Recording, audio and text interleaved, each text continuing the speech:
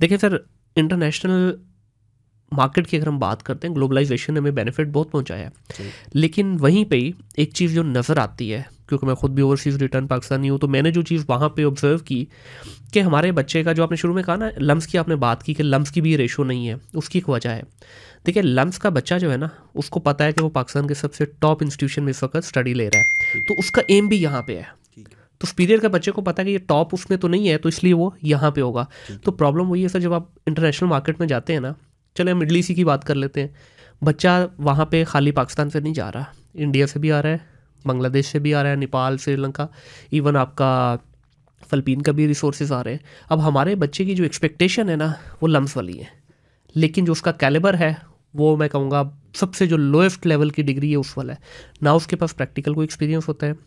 ना उसकी proper English communication है, ना उसके पास एथिकल स्किल्स उस तरह के हैं, ना वो बिहेवियर वाइज उस तरह का है, लेकिन डिमांड उसकी होगी मुझे बीस हज़ार धर्म की नौकरी चाहिए। तो ये जो आपने सारी चीज़ें डिस्कस किया डेफिनेटली जब इस पूरे प्रोसेस से बच्चा गुजरेगा, तीन साल, चार साल, उसने पहले एकेडेमिया देखा, उसके बाद साल, डेढ़ साल उसने इंडस्ट्री की मार खाई, उसने देखा कि भाई गंदा किस तरह होना है, कीचड़ में किस तरह उतर के अपने आप को बाद में साफ़ निकालना है। फिर जब वो इंटरनेशनल मार्केट में जाएगा तो शायद इस पोजीशन में होगा कि ये जो चार छः हमारे बड़े जाइंट हैं, जिनके साथ हम कम्पीट कर रहे हैं, उनके साथ कहीं खड़ा हो सके। लेकिन उसके लिए भी मैं समझता हूँ कि आपको अगला स्टेप ये भी लेना पड़ेगा कि, सर, इन बच्चों की ग्लोबलाइजेशन के हवाले से भी एक ट्रेनिंग करवानी चाहिए। आपको चाहे इसमें कोर्स ऐड करें या कुछ भी, कि देखें बड़ा फ़र्क है, सर। अब हम दोनों हम ज़ुबान बैठे हैं, एक दूसरे के साथ फ्रीक्वेंसी मैच कर रही है। यहाँ पे हम कोई ऐसी ज़ुबान बोलना शुरू कर दें जिसमें हम दोनों शायद फ्रीक्वेंट तो होंगे बट हमारी वो आपस में जो होते हैं ना डॉट कनेक्ट नहीं हो पाते तो यहाँ पे जो प्रॉब्लम आ रही है ना हमारे रिसोर्सेज को वो वही है। इस पर भी आप ज़रूर नज़रसानी कीजिए। आगे जाके मैं आपसे बात भी करता हूँ जो आपने ये नंबर्स दिए हैं इसमें कि हम यहाँ से एक वर्ड बड़ा कॉमनली जो मैंने इंट्रो में भी कहा ब्रेन ड्रेन का यूज़ करते हैं। वेर एज हमारा हमसाया ममालिक जो है वो ब्रेन एक्सपोर्ट की बात करता है। तो दोनों का फ़र्क भी जिस तरह हम बात कर रहे थे ऑफ़ कैमरा भी ब्रेन ड्रेन में प्रॉब्लम क्या है कि जिस दिन वो बॉर्डर से आउट बच्चे का रिकॉर्ड ख़त्म। अब वो क्या रेमिटेंस भेज रहा है क्या नहीं भेज रहा ना तो किसी तरह से वो टैक्स में शामिल है। इवन जो चार पैसे भेज भी रहा है वो हुंडी के थ्रू भेजता है।